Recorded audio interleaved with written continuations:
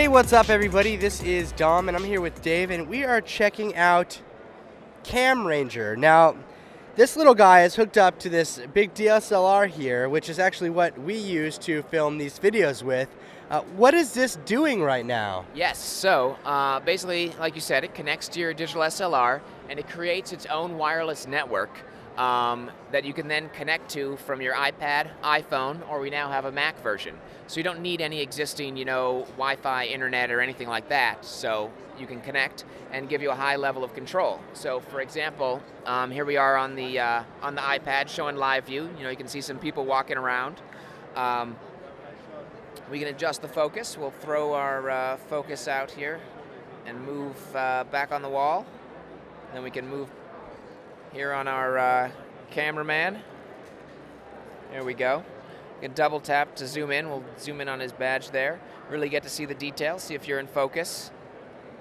Go ahead and uh, remotely capture an image. Um, how that works is it always saves to the camera's memory card like normal. Um, and then afterwards, you can go ahead and download the uh, full resolution image, uh, either RAW or JPEG. We support both. You can see it in full resolution and really see how your image uh, image turned out. Um, gives you all sorts of control. Um, you know, tons of settings you can change. Not quite everything on the camera, but pretty much everything you might want to change.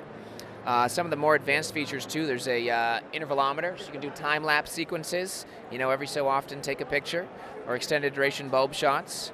There's also a uh, more advanced HDR uh, bracketing than the typical in-camera bracketing. Gives you a lot more flexibility. Uh, also should point out uh, you can do movie mode, so record movies, see what you're recording, change the focus, change the settings, things like that. So uh, really a lot of uh, functionality and you know completely wireless. It's very very innovative, guys. It, it, I this is probably what I know thousands of you out there are looking for: some way to control your DSLR right from your iOS device or even a Mac now. And where can we find CamRanger and, and how much is it? Sure, yeah. Um, so we do sell on our website, camranger.com, as well as a number of local and national camera shops. Uh, retail price is uh, 299. Basically, you pay for the hardware, and then uh, you know the app and any updates and new platforms and things like that are no additional charge. Great. So you guys go check it out. It's called CamRanger. Tell everybody your website. Uh, it's camranger.com CamRanger.com, check it out. This is Dom, and we're here at MacWorld iWorld 2013. Thank you very much for meeting with us. We really appreciate it. Thank you.